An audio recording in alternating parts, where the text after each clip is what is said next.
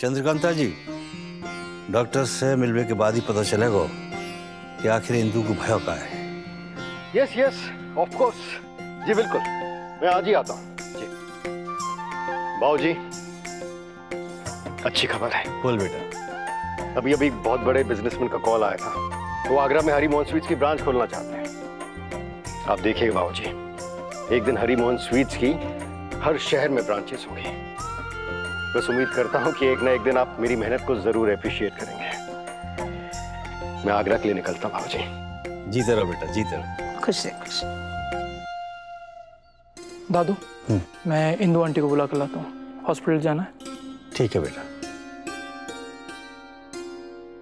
आज मिठाई बड़े डॉक्टर साहब से साफ़ साफ़ पूछ लेगी कि माँ को हुआ क्या है। और जो कुछ भी हुआ है ना उसके लिए ऐसी दवाई लेके आएगी कि दोबारा उनके पास जाने की ज़रूरत ही ना पड़े। क्या है ना? मिठाई को माँ को लेके जतीपुरा भी वापस जाना है ना? और हाँ और एक बात।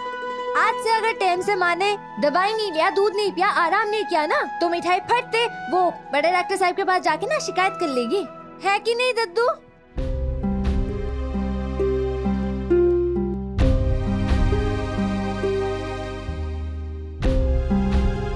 बेटा तेरे जाए भी क्या ज़रूरत है? तू टेंशन मत ले। मैं डॉक्टर साहब से सब बात कर लूँगा ठीक है? हाँ नहीं सही बात है सही बात है। वैसे भी दद्दू को तो ज़्यादा बताया ना मिठाई से। ऐसा करते दद्दू आप ना उनसे सब कुछ एकदम साफ़ साफ़ पूछ लेना और मिठाई ना चुपचाप पीछे खड़ी होके सब कुछ सुन लेगी कि माँ को ठीक करने के लिए क्या क्या करने की ज़रूरत है ठीक है?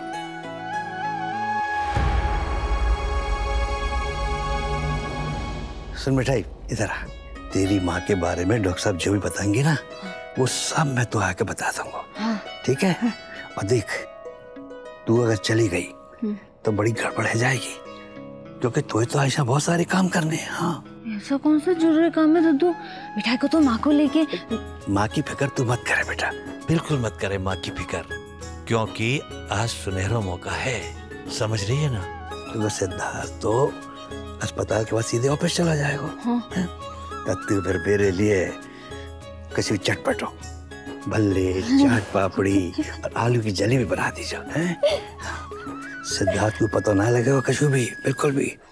सुन देख मेरे मुँह में पानी आ रहा है तो आई, चुपचाप।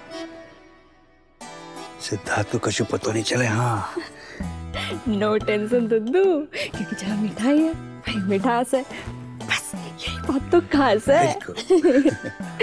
आप ना अभी जाओ और मिठाई यहाँ सब कुछ रेडी करके रखेगी।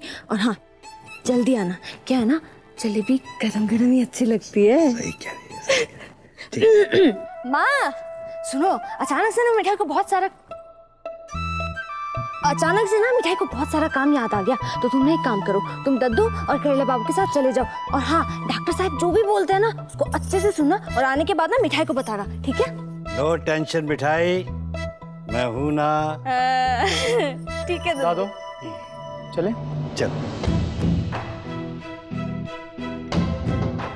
जय गोपाल।